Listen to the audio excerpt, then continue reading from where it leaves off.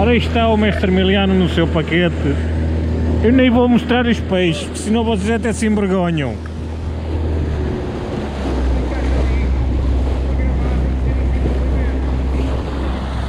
Está a gravar? Está a